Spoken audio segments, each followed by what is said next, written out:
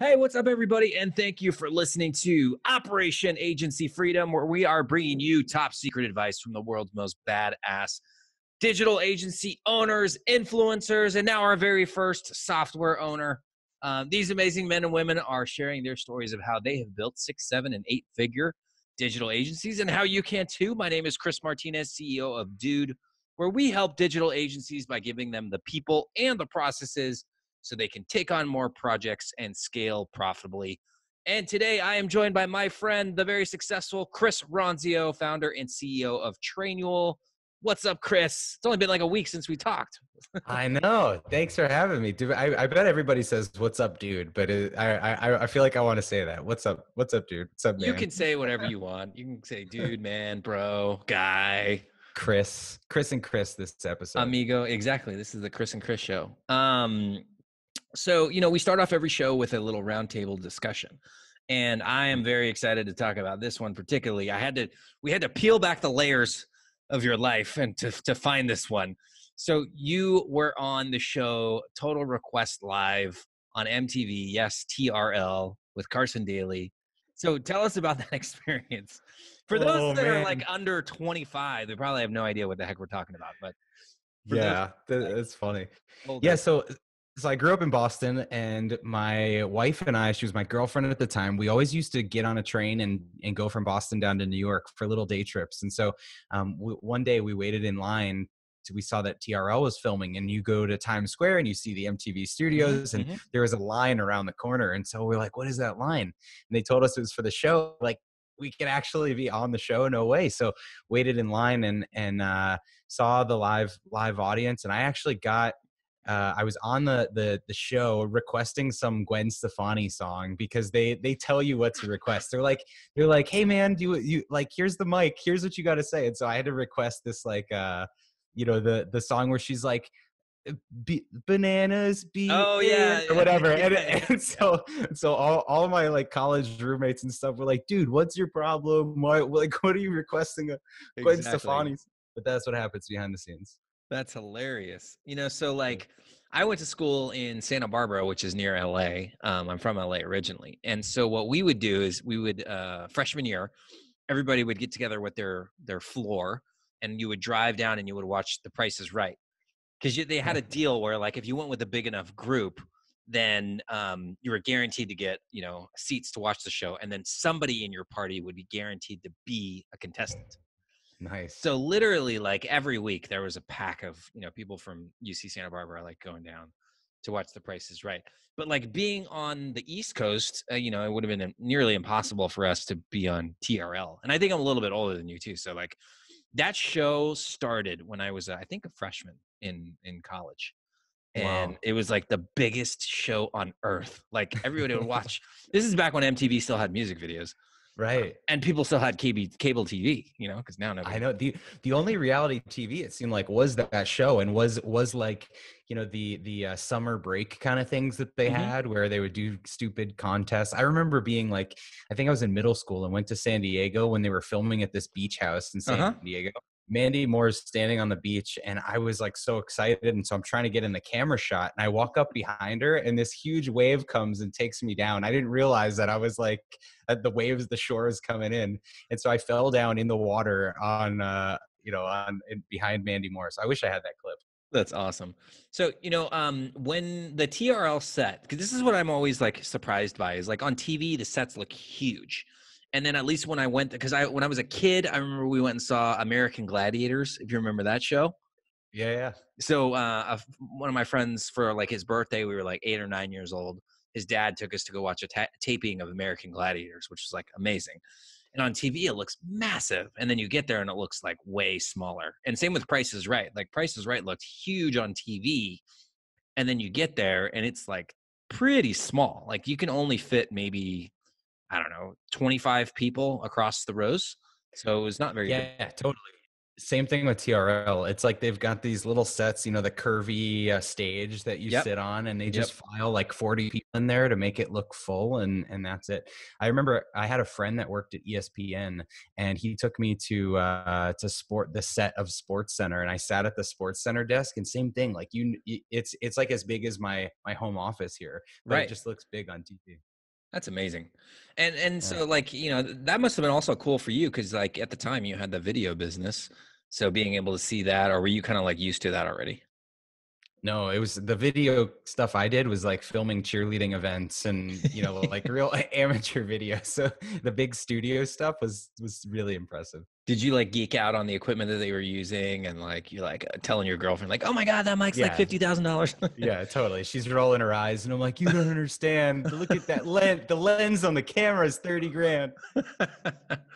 That's amazing. But now, I mean, nowadays, you know, the the same quality equipment that they used for like you know primetime shows. I mean, you got to be able to get that at a tenth of the price. Totally. I mean, like even the the I have this little drone that I fly mm-hmm. around, you know, the neighborhood and stuff, and the quality on that little drone is better than when I had my video business, we hired this guy at MIT who built a six foot by six foot helicopter that could fly around holding a five pound camera. And the the like how expensive that thing was and how much time went into that. And now for 500 bucks, you get this little drone that shoots in 5K. It's crazy. Yeah, that's awesome, man. Well, enough talk about TRL. Let's let's get into you know what it is that you that you do now.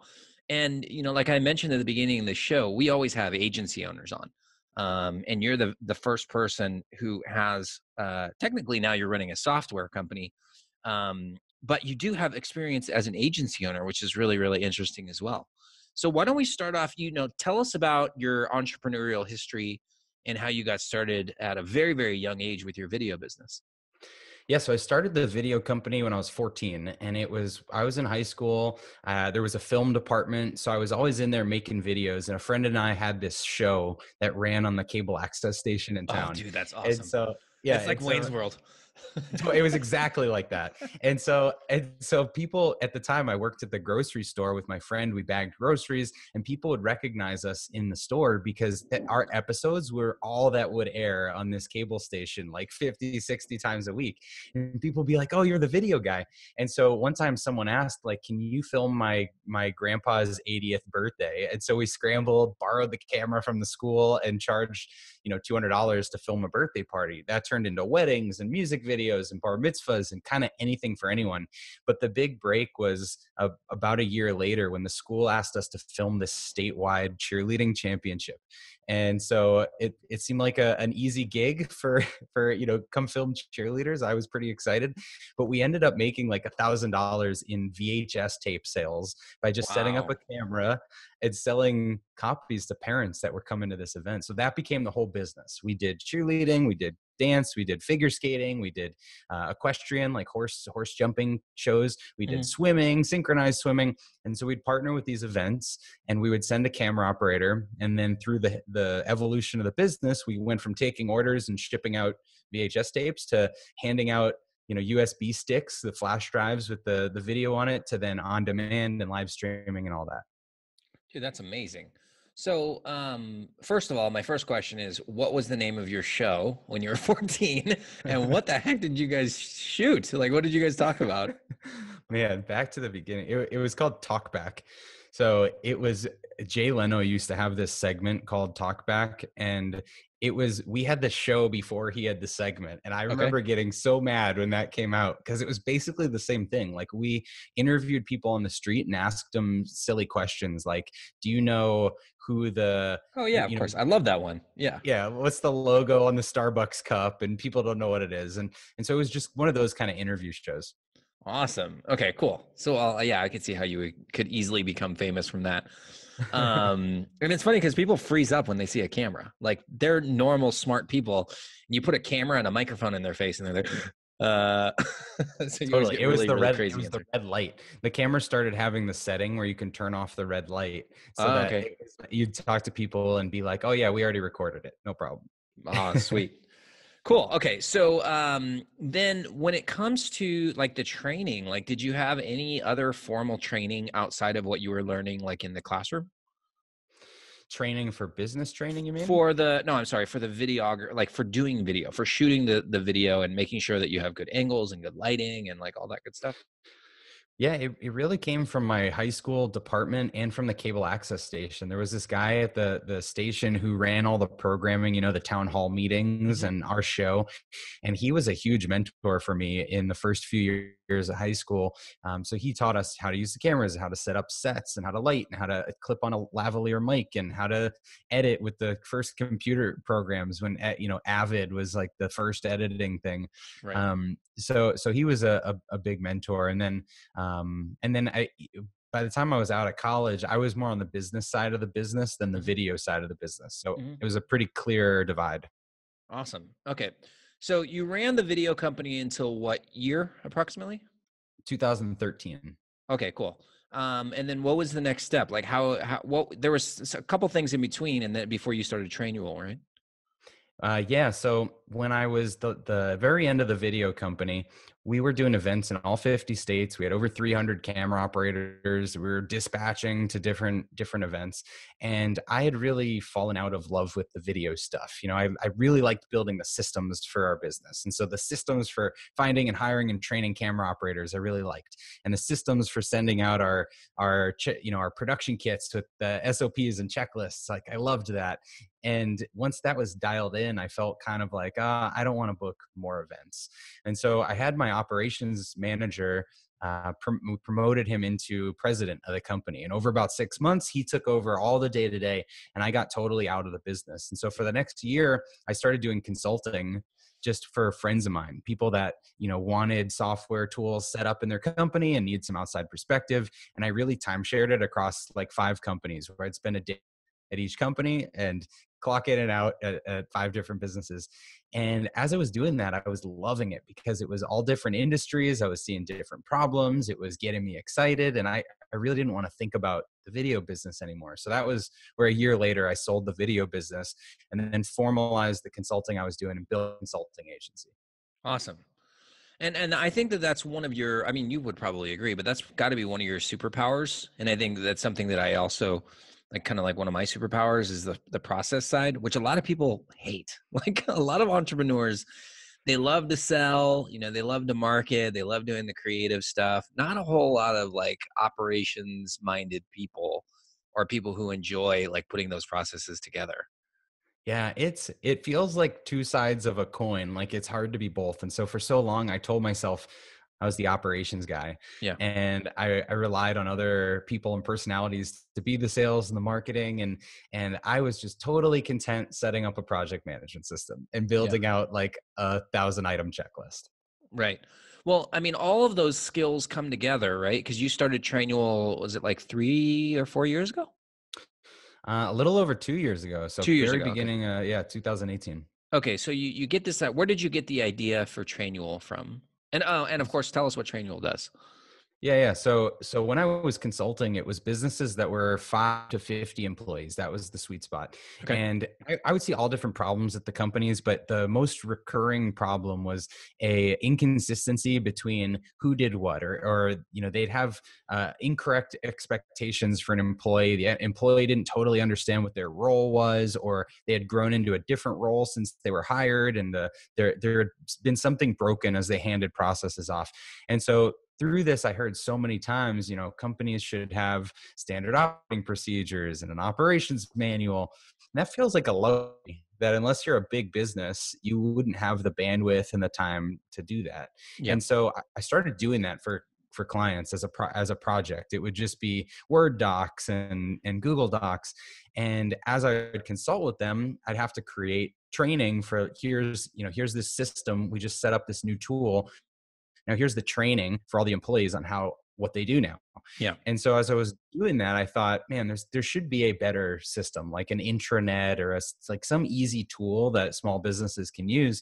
And I was annoyed that I couldn't. Like it, it was in the in you know years ago, it was like WordPress plugins, and you had to basically be an engineer to to cobble something together. Right. And so Trainual was a prototype that I built for clients. I had a, a couple freelance developers in my town, and they built this little tool with me, and then I just used it with my existing clients and and for me it was like i had had some ip to go along with my consulting services right. so it wasn't until a few years later that we made it a business And so you would essentially take your consulting clients and then set them up with an account uh, in your Trainual, pre-Trainual software, and then they would run mm-hmm. all of their training programs off of you, and then that also helped you with retention. Yeah, so so well, it wasn't necessarily retention. It was like they they would hire a whatever it was, you know, a 5,000 or 15,000 or 20,000 for a project where I'd come in for a day or a week or a couple months and optimize their systems. And then this was sort of the handoff. It was mm. like once once they've done that work, let me put it somewhere so that now you can have it as a clean package. And so I wasn't charging for it at first. And then a couple years into it, I started uh, charging like $49 a month. And I thought, okay, as I work with more companies, this will be like a really good little, little stream Additional of revenue. Yeah. Yeah. Great. Yeah. So then at what point did you realize, you know what, man, I should just, just do this Trainual thing full time? so this was late 2017 and kind of a couple things happened like the the first thing was we had like we, we hit 25 customers that were paying for the tool and okay. so the the revenue stream was close to $2000 and it covered my mortgage at that time and i remember having this like dinner with my wife and saying wow i can't believe that this little thing that i haven't told anybody about is covering our, our mortgage payment like this this is something she's like yeah you should focus on that so she had been saying that the the last couple years and then the other thing that happened was we had built the consulting business to had five employees like seven figure business and we were covering all of fixed expenses with about 70% of our capacity. So i thought why don't we instead of getting another couple clients we wrapped up a, pro- a couple projects. I said instead of replacing them why don't we rebuild this tool? Let's put all of our extra capacity into rebuilding a version two of trainual and mm-hmm. so it was over a few months that i was putting all these ideas into it and like got so passionate it was the only thing I was working on, and um, I, I, I realized I had this this this idea or epiphany that um, instead of charging for time, instead of charging for the consulting time, what if I took all of our resources, all of our experience of working with 150 businesses and all the tools and SOPs and everything we built, what if we flip that into marketing content and just give expertise but then we monetize it with the software and say you know every business should have a playbook. Here's a cheap tool to to build yours. And so I, got everybody in a room and we talked about this pivot and he said you know can we can we do this like cold turkey turn down all the consulting work try to make a saas company? And everybody was on board because we knew we could always go back to consulting. So right. it was january 2018 that we made the move. Wow. So, um, you know, you had built a software platform for yourself, but did you have any idea what capacity like you could run uh, without making major modifications to the software and like making all these huge enhancements? Like how scalable was it? Or? Yeah, exactly. like yeah, you're gonna no, put 20 it, people on it, it's one thing. you know, 200 people is like a different thing, and 2,000 is way different. No, I had no idea. And even my my developer had no idea. You know, he was a pretty pretty junior developer and when we initially built it out, I was like, okay, if we have you know, we we've got 25 people on it and I know what that costs. What if we had, you know, like 2500 people on it? What would be the server costs and all this? Yeah. And he was like looking back, he was so off. He was way off in what he was getting. You know, we had we had no idea. And so it took you know a, a lot it's taken a lot of building in the last couple years to stabilize the product refactor the code do all this stuff but in the early days it was like we weren't going to over invest if we couldn't prove some traction and so right. it was all about how do we sign up the first 100 customers okay so, and I, I, think that, that a lot of people can relate to that too, even if they're not running a software agency, if just a, a business in general, it's like, you know the first benchmark is maybe a revenue target 10 grand a month or mm-hmm. a, a, client target 100 clients 50 clients whatever that is so what was your plan to get to that first 100 users so initially we my my plan was let me tell everyone I know, and I optimistically thought, well, everyone's going to sign up, so that'll that there we go. That didn't happen. So it was crazy to me because I had gone from selling these ten or twenty thousand dollar consulting projects to I couldn't sell for the life of me a $49 subscription and i'd get on you know a, a call with a ceo that I that had bought consulting from me and i'm like yep it's $49 a month we'll charge your credit card and he'd be like well let me let's schedule another call and let me, let me loop in a few it. other people uh, and hard. So I, I would i would caution anyone that thinks it's going to be easy you know it's when you're when you're doing a, an agency and doing the work for people that's pretty tangible they know they're going to get the work done. When they feel like they have to do the work it's a totally different thing. So the plan for the first 100 was first tell everyone that didn't work. We had a party uh, invited everybody and through this happy hour invited uh, you know uh, the press and stuff like that to get some photos and and record some videos. That was cool created a little buzz. Then we launched on product hunt so we got some exposure there. Uh, product hunt's a website where there's like beta apps and stuff. Okay. Um, and then we and then we uh, three months in we started our facebook ads and that was the first traffic that was coming in that was really cold traffic not referral traffic um, and then there were there were other things that we did like you know i downloaded the list of every contact on linkedin and spammed 3000 people and and i think i think at the beginning you know you've got to hustle for the first yeah. 50 100 customers um, and we got there you know it took it took six months to get to 100 customers um, but we got there we hit that 10k mrr mark and from there the growth was all about our ads. Okay cool. So um like at this point who is on your team uh in the different roles to help you get this thing up you know to get to 100 and beyond yeah, so it was me, my developer. Our we had hired a UX uh, designer, mm-hmm. and she, she was part of the consulting firm and worked with our clients on workflows and user experience. So was was um, you know mostly doing wireframes, things like that. Mm-hmm. Uh, we had a like a project manager. She started as my assistant, became project manager. Then she uh, adapted into customer success and sales, and now she's she, she was employee number one, so she's our uh, chief of staff now. Uh, and then uh, and then my brother did our did our marketing. So he he joined the team as soon as we launched Trainual. Awesome. Okay, so you get to the 100, 100 users uh, mark. Um, what's the next target after that? 200 or 500?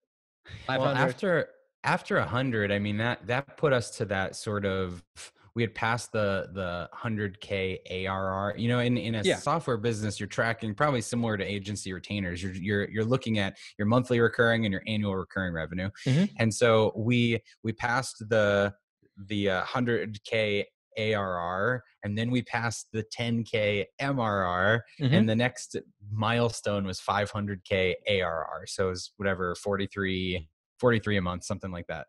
And uh, and so that we hit in October of of the first year, 2018, and then and then after that, it was the million dollar mark that we were chasing.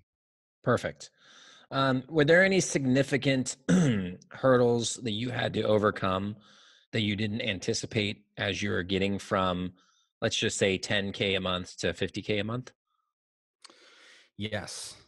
Lots of them. Uh, i mean the, the, product broke so many times. I mean technically we didn't know what we were doing. So we really you know we're fortunate to have uh, patient customers and people that were really getting value out of the tool because we would do something stupid like update the update the sign up form and then a week later we'd have no signups and wonder what happened and it was because it was totally broken on mobile you know like the, the, we didn't we we didn't have a, a, qa process and so if i were to go back i'd i'd probably want at least someone to consult me on the things i should be aware of you know like the like right. maybe a checklist or something um, so that that was a learning lesson the our dependence on facebook ads was a huge part of how we grew to that 50k MRR mark mm-hmm. and that was a huge code to crack. So the the understanding of like how to do a funnel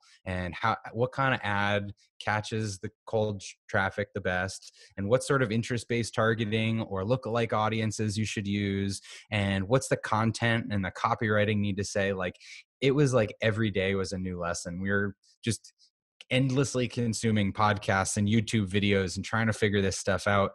and we were looking at review sites and on case studies and figuring what are customers talking about? What are they complaining about? How do we take that language and turn it into ads?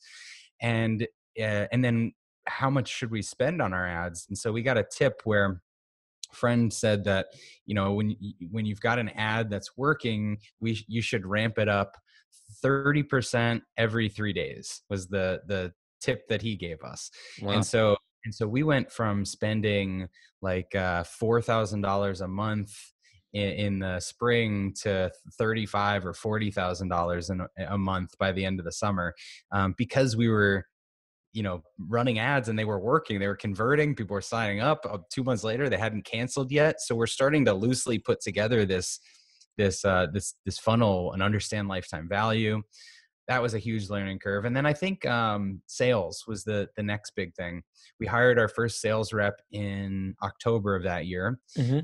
and really we needed someone that could be a catch-all for all of the opportunities that were surfacing because there was partner opportunities and affiliate opportunities and people talking joint ventures and and integrations and and these big uh, you know franchises that want to use it but have a six month sales cycle so you got to keep the conversation going. Right. Um, so many lessons it's, it's hard to separate them yeah.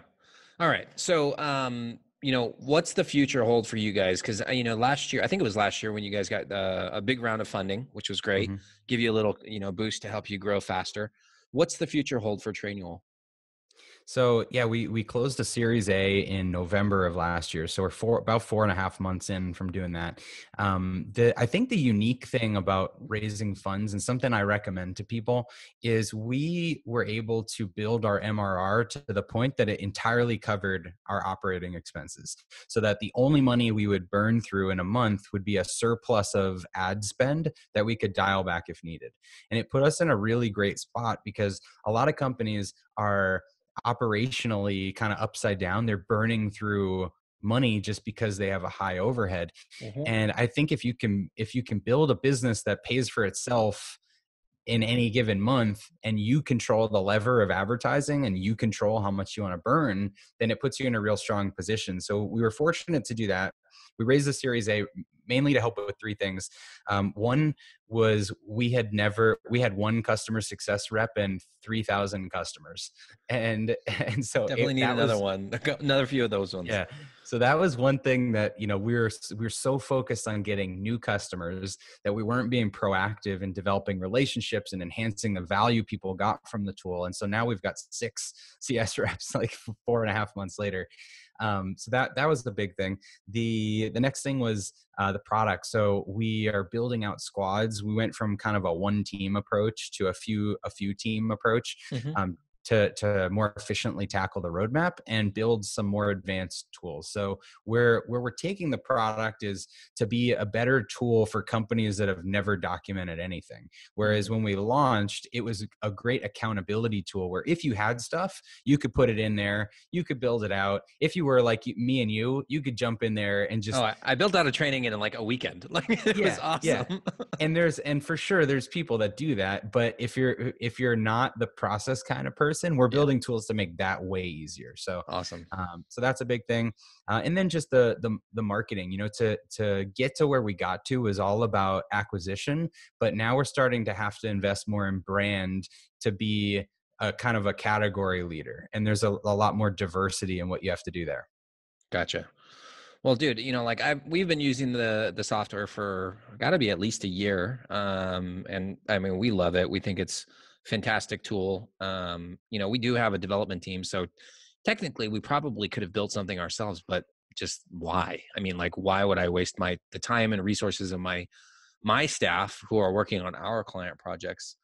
Um, and so, you know, that's literally I, I got the software and I was like, I need to create these trainings over the course of a weekend. So I was basically up, you know, working on this in my living room, which is coincidentally where I'm at now.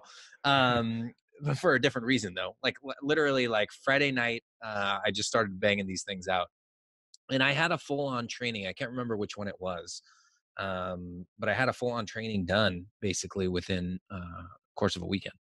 So keep in That's mind, awesome. like you said, I am That's the outlier. You're, we are the outliers where like this stuff comes pretty easy to us.